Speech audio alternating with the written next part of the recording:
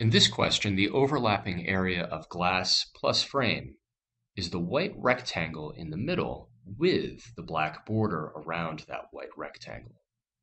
However, some portion of the frame is overlapping, making that part confusing.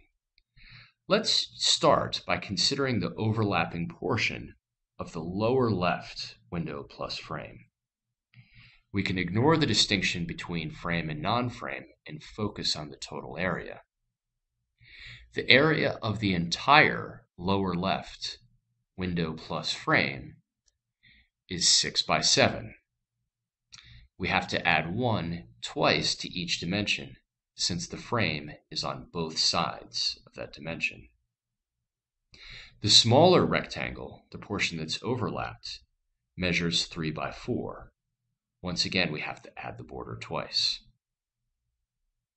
The fraction of one rectangle that overlaps is therefore 12 over 42.